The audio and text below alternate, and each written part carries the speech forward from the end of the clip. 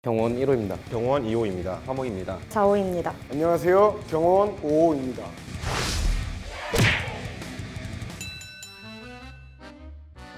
연예인 경호를 하다 보면은 공항을 많이 나가게 되는데 팬분들이 많이 몰려 있을 때가 있잖아요. 짧은 동선에 많은 인파가 몰리다 보면은 한 번에 이렇게 쭉 나갈 때 스크린 도어거든요. 그 조그마한 문에 연예인들도 나가고 저희 경호팀 나가고 팬분들이 막 몰려 나가서 스크린 도어가 무너졌던 적이 있었어요. 근데 그런 일이 한두 번 발생한 게 아니다 보니까 사람이 부딪히면은 너무 위험하니까 저희가 이제 항상 노심초사하면서 그런 공항 피해를 했던 그 팬분들은 조심히 하고 나가셨으면 좋겠습니다. 팬 미팅을 갔었는데 스탠딩 좌석이었습니다. 공연 자체가 delay가 되고 아티스트 분들이 뭐 얘기를 좀 더 오래 하다 보면은 너무 오래 서 있다 보니 이제 더워서 탈진을 하고 쓰러지는 사람들이 많으세요. 저희가 이제 터치는 할 수가 없다 보니 진행 요원 분들이 와서 옆에서 항상 대기를 하고 계세요. 그분의 의사가 아 걸어갈 수 있어요, 괜찮아요 이렇게 얘기를 하시길래 진행 요원한테 옆에 같이 좀 가주세요 하는 순간에 이러고 그냥 당하고 쓰러진 거예요. 이제 업고 데리고 가는데 이 사람이 어떻게 될지 모르니까 짧은 동선을 가려고 그 멘트를 하고 있는 와중에 지나갔어요. 제가 데리고 가수들도 멘트를 하다가 놀란 거죠.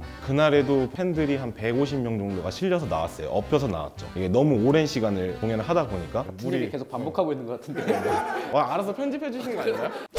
어, 생방송 코미디 프로에 간 적이 있는데 출연자에게 이제 앙심을 품은 팬이 있었습니다. 근데 그 팬이 쇼핑백에다가 이제 정체 모를 물건을 담아왔는데 그걸 이제 아티스트에게 던지려고 하는데 제가 제지를 했던 그런 적이 있습니다. 나중에 수거를 해가지고 확인을 해봤는데 콘돔에다가 우유를 담아온 겁니다. 무슨 의도로 그런 물건을 만들어 왔는지는 모르겠는데 던지려던 순간 제가 이제 손목을 잡아서 제지를 했던 자기가 먹으려고 했던 그런 거 아닌가? 우유를?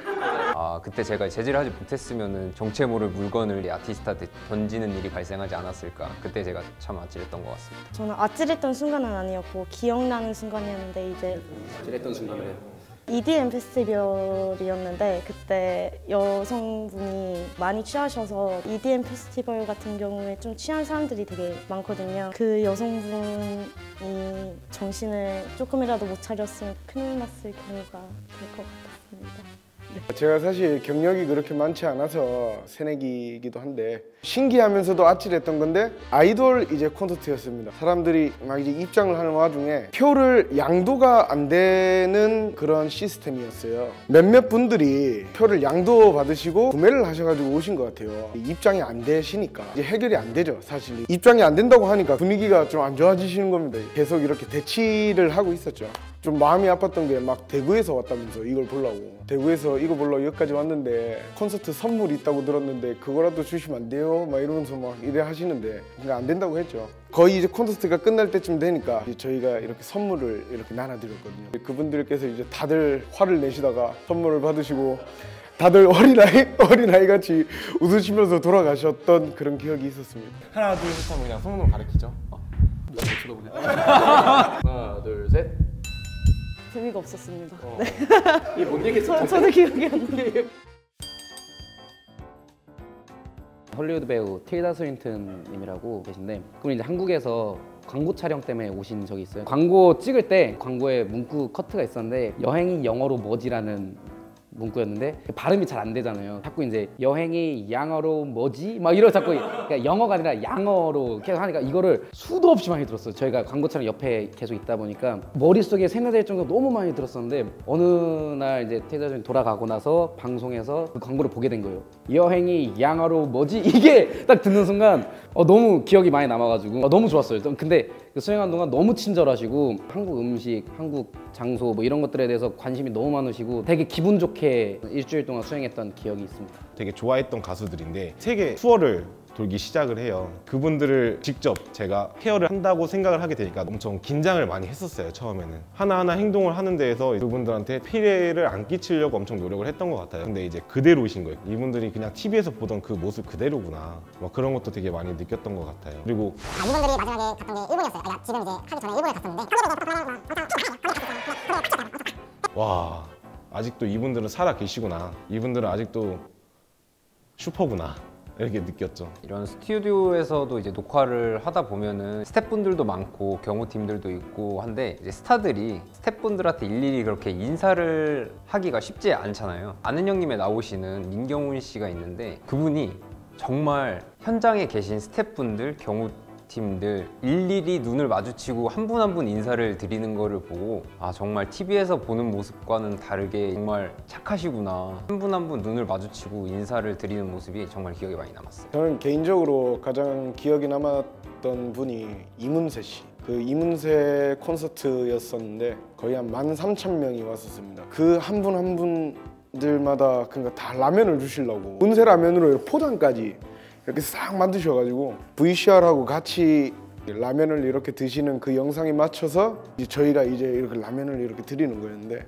그렇게 팬 한분한 분씩 그러니까 이렇게 신경 써주시는 그런 모습도 너무 좀 약간 신기했고 그리고 이제 좀 기억에 남았던 이유가 저희가 사실 라면을 옮긴다고 조금 힘든 것도 있었고요. 예. 그때 뭐 5분 안에 13,000. 예, 13,000개를 5분 안에. 그래서 가장 좀 기억에 많이 남습니다. 아, 네, 고맙습니다. 와, 나 소름 돋았어. 아, 말이 좀 많지 않았나. 되게 좀 또 뭐랄까 좀 캔이라든지 유리병이라든지 실내에서 이제 위험할 수 있는 물건에 대해서는 저희가 반입을 허가를 하지 않습니다. 한 번은 유리병으로 된 그 텀블러인데 이것도 위험 요소가 될 것 같아서 이제 저희가 수거를 하는 과정에서 어? 냄새가 익숙한 냄새가 나는 겁니다. 뚜껑을 열어갖고 확인을 해보니까 그 유리로 된 텀블러에다가 소주를 담아 오셨던 그런 관객분들도 계십니다. 근데 술 들고 오시는 분들이 생각보다 많아요 공연장에. 근데 뭐 당연히 실내에서는 음주가 안 되니까 저희가 수거를 하고 있습니다. 어, 대, 대체로 이제 그런 거는 버리세요. 들고 들어가면 운 좋은 거고 난 여기에 놓고 갈 거인 사람. 그렇게 크게 신경을 안 쓰세요. 네 그리고 놓고 가요. 공연 중간이나 행사 중간에는 사진 촬영이 원래 금지가 되어 있는데 망안경까지 이렇게 들고 오셔가지고 공연 관람하시는 분들이 굉장히 많더라고요. 삼각대까지 이래 해가지고 이러고 있더라고요. 망안경 가지고 와, 굉장히 좀 약간 열정이 있는 친구네 이렇게 보고 있었는데 그거를 잘 보고 있었는데 좀 약간 불빛이 비치고 좀 약간 그런 것 같아가지고 좀 수사해가지고 봐도 되겠습니까? 보니까 캠코더더라고요. 망안경 형식의 뭐 뭐 되어 있습니다. 가셔도. 망원경인 척 해가지고 이제 들고 오시는 제가 지금 또 겨울이니까 패딩 모자에다 숨기고 들어오시. 아우 그거 그거 내가 얘기하려고 했어. 이거 잘라 이거 잘라주세요. 잘라주세요. 잘라주세요. 떨어졌으면 조용히. 해. 우리가 흔히 대포라고 말하는 팬분들이 가지고 나있는 굉장히 큰 카메라. 사전에 통제하기 위해서 물품 검사를 하는데 또 한 분이 걸리신 거예요. 카메라는 지금 안쪽 물품 보관함에 두고 입장 제 입장하시면 되겠습니다 하고 안내를 해드렸는데 너무 쿨하게 어 예 알겠습니다 하고 이제 나가시더라고요. 사실 그렇게 쿨하게 나가신 분들이 많지는 않으니까 조심히 봤어요. 어느 정도 좀 게이트 밖으로 나가시더니 카메라를 돌려가지고 후드에 넣으시더라고요. 후드 이렇게 넣고 툭툭 털어가지고 옆 게이트로 들어가셨던 거예요. 옆 게이트로. 그래서 우리가 그걸 보고 이제 무전으로 인상착의 안내해드리고 그렇게 해서 걸려서 결국은 맡기고 이제 들어가셨던 거죠. 아 제가 뒤에 이제 남아 있는 두 친구보다 경험이 많고 에피소드들이 많으니까 약간 경계해 갖고 저를 떨어뜨린 것 같습니다. 네.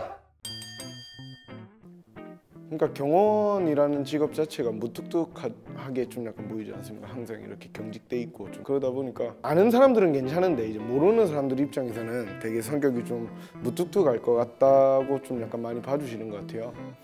근데 안 그렇습니다. 속상했던 적이요? 아니 속상했던 적은 없습니다. 예. 우리 항상 이대파를 하고 정장을 입고 이렇게 다니다 보니까 굉장히 우리 나이대를 되게 높게 많이 보세요. 막 35. 비슷하잖아. 저는 비슷한데 저는 괜찮은데 저희 팀 같은 경우는 경호학과 나온 친구 단 한 명도 없어요. 사실은 경호원이라는 게 누군가를 지키는 직업이기도 하지만 CS 마인드가 굉장히 강해야 되는 서비스 직업이 더 강하거든요. 우리나라에서는 운동을 잘하고 하면 이점은 될 수 있지만 그게 꼭 필요한 조건은 아니라는. 일단 저는 기계공학을 나왔고요. 네, 자동차공학 나온 친구도 있고 정치학교학과도 있고 아주 다양한데 그 다양한 사람들이 모여서 할 수 있는 직업이기도 하고. 국한되게 생각하지 않으셔도 될 것 같습니다. 회식하러 가자. 역시 자본주의 아이들, 자본주의 아이들. 아직, 아직 애들이 저를 너무 어려워하지 않았나. 예, 병원의 매력은 일단은 똑같은 현상이 없습니다. 항상 상황 발생에 대해서 준비를 해야 되고 지루하지가 않고 일단은 그래 항상 긴장을 할 수 있고 그래서 항상 나를 발전해 나갈 수 있기 때문에 병원이라는 직업에 대한 매력이 큰 것 같습니다.